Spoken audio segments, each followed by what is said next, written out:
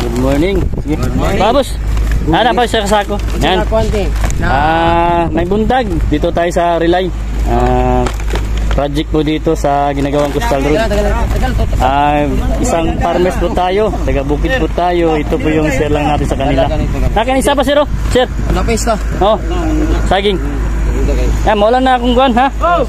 Ah, balik ko lang yung supply ko lang yung ano. Ah, binigyan kasi tayo dito ng ano, ah, makapag-update sa kanilang mga project. Ah, binigay na natin, ah, nagbigay lang po tayo ng kunting ano lang.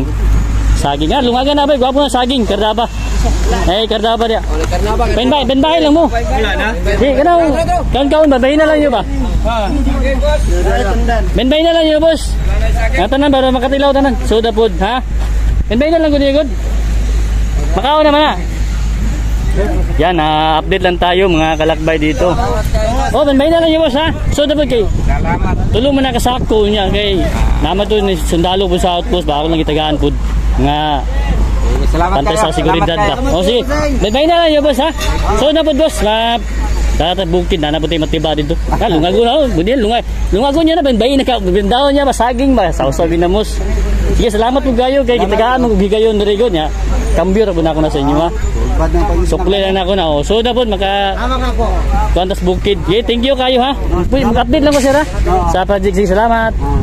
Yan ha, nagbigay lang po tayo. Mga ano po to, mga relay. Dito po tayo mga kalakbay oh. Ito yung panibago nating update mga sa ginagawang project po dito. Yan oh. Ah, makikita na po natin yung pagbabago mga kalakbay. Ah, dito deflector. Ah, na, malapit na po makumpleto. Itong rubble oh, na kumpleto na. Yan. Dati dito wala pa ito. Ngayon kunti na lang. Ah, sa sunod na balik natin maging kumpleto na po ito mga kalakbay po. Ito yung karugtun sa ano, ah, Samal ah, Bridge. Yung gina-update natin, yung ginapuntahan po natin sa Mailanang Beach. Yan ang mga kalakbay, ah, comment lang po tayo sa mga kalakbay po natin. Yun, ah, nag-ano tayo sa kanila, nag-share lang po tayo kasi ah, taga bukid, taga probinsya po tayo. Ah, may tanim tayo na kunti lang, saging. Ah, nag-share lang po tayo bilang ka-farmers. Yan, shoutout sa mga farmers natin dyan. Makabawi din tayo balang araw. To, ano, ah, bilangin ko lang itong nagawa na ano, deflector po dito, seawall o ah, flood control. Kasi dati anim lang yun eh. Ngayon, ah, ito na. 1 2 ah 3 4 5 6 7 8 9 10 11 12 Bali 12 na ang na, ano po nila dito nagawa mga kalakbay po natin meron pa silang ginagawa na ano bali na forma pa sila para magbuhos din ng uh, deflector fuel 2, 4, 6, 18, 12 2, 4, 6, 8 Busi talaga mga kalakbay. Yan bilis, bilis yung project ko dito. Diyan, nagundag sir Ah, ito mga kalakbay, may dagdag na, na bagong buhos po ito. 2, 4, apat. Bali, ano, ah, 16 na lahat. Ito Ayan, ah, may buhos na po ito mga kalakbay. Nabuhusan na po. Papunta po doon may dusi. Yan ganda na. Ito yung ginabalik-balikan natin dito.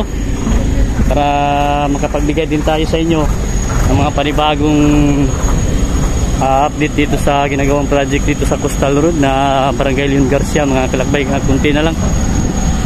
Uh, pasensya na po kayo sa mga hindi makapa ano uh, makaintindi sa ginasalita natin na Tagalog. Pero pinipilit pa rin natin na maka kapagsalita kasi gusto natin na ano yan o meron din kasi mga ah, hindi makaintindi ng Ilonggo kaya nagtasagalog po tayo yan ang boss oo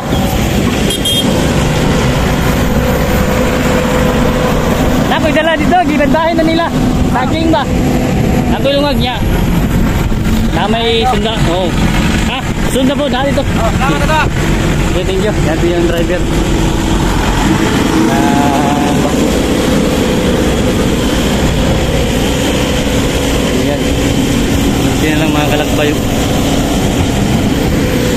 oh. Ano, paspas kayo no? Kani ba? Purma na yun. Kapag giyatag doon saging boss, bayin na lang doon ninyo. Ah, nangaon nito, nangaon na dito. Dahil lang yun. Sunod na po. Oh. Tapos kung kitagaan dito sa outpost pa, mga military po dito sa outpost, ako pong ibahingan kung pantay dito sa kwan bitaw, bago ka masunod, trans. So na po, magkakuan ka sunod. Ay, nabilis yung trabaho dito. Na. No? Na Grabe no? Ha? Gabi pa ng boss no? Gabi niyo boss? Ah, gabi din mo ka boss boss? Sige na naman, please. Grabe no? Gamay lang kulang oh. Oh, kamay lang. Mga upat siguro no? Oh, mga upat na na mga. Grabe, bilis yung trabaho po nila dito sa mga relay. Yan. Thank you boss ha? So, ginaano na, gina-intact na yung lupa para pag touring dito sa may Gustal Road. Ganda na mga kalagbay ha, kita na po natin talaga yung pagbabago dito sa loob ng project po dito. Ito po yung piston po dito. Na intact, kailangan mataas yung level. Tanaw natin yung ano, ah, Paradise Island kasi yun po yung ah, paggawa ng pundasyon para gawa ng anong bridge para sa Samals Island Davao Connector Bridge. Yan, ginaintap po yung lupa. Patag para sa Coastal Road. Andun mga kalagbay oh. Doon po yung Lanang Beach na i-update natin yung isang araw. Papunta po doon to segment na ito yung karugtong para sa proyekto ito nakamangha kasi na proyekto mga kalakbay Ah, dahil taga probinsya po tayo ito um, ngayon lang tayo nakakita ng mga ganitong mga pagka, napakalaking mga project kaya naisipan natin gumawa ng channel para may share po natin sa inyo yung kagandahan po dito sa Davao City.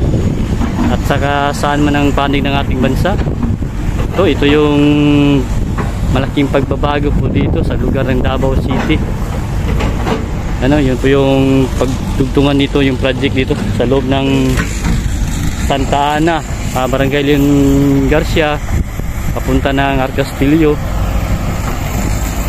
uh, Lanang Beach Panabo diretso po ito ng Panabo at saka sa Ulas sa Bayada yung Skyway. At saka sa Bagua Playa. Ito yung project dito. Tuloy-tuloy talaga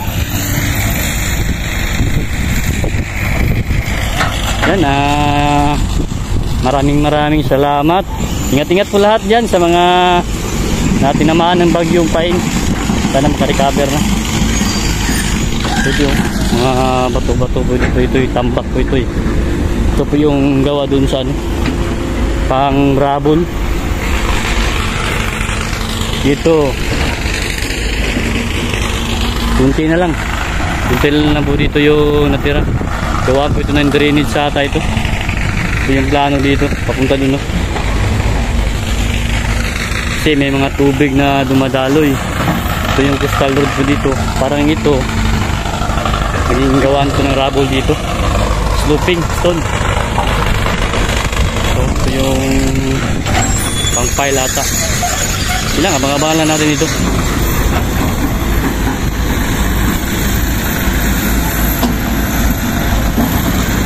Magandang magandang umaga sa lahat. Uh, umaga po tayo ngayon. Kahapon doon tayo sa ano, uh, City Hall of Davao, San Pedro. May i-update tayo yung pagdala ng mga inabang papuntang Libak Sultan Kudarat kasi tinamaan ng bagyong paing. Bali 10 dump truck po yung dinala. Uh, from the Davao natulong ang dami uh, 10 truck yung biyahe kahapon uh, ngayon lang natin i-update kasi uh, i-upload para sa seguridad din ng ano ng mga bayani natin na taga Davao na pulisan, kasugaluhan uh, si SWD saka mga staff, mga driver. Ah, di po natin kailangan na i-post agad na dahil sa biyahe po nila social media kasi napakadelikado yung biyahe papuntang Sultan Kudarat, di ba? Maraming daanan ng mga lugar na hindi natin na alam kung ano mangyayari. Pero sa awa ng Diyos, ah, maganda yung biyahe po nila hapon. Yan, ah, ngayon lang natin i-upload na araw kasi para din sa seguridad nila sa pagbiyahe. Yan, pasalamat tayo, nakarating sila doon, pati yung mga tulong sa Libak Sultan Kudarat na tinamaan ng ating mga kaprobinsya po natin. Taga doon po kasi tayo, taga Sultan Kudarat po tayo. Tinamaan yung mga ah, kabukid po natin, ka-farmers. Sana makarecover na po lahat. Yan mga kalagbay. Doon sa kabila, meron din, iba din yung kontraktor uh, UBI. Dito yung relay, uh, shoutout po sa relay, binigyan po tayo ng magkakataon dito na makapag-update sa kanila. Dito sila, nagbuo sila dito.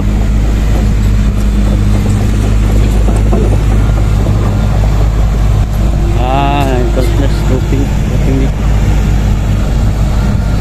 Sa kabila, may nagtrabaho din sa kabila. oh.